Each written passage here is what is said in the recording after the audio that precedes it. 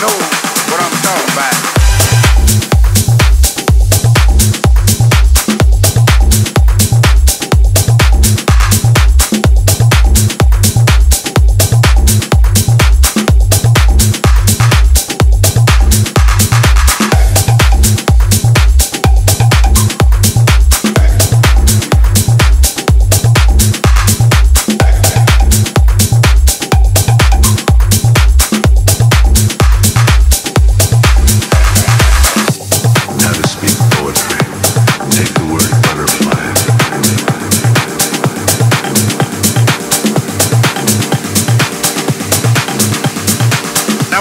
This song so you'll know what I'm talking about.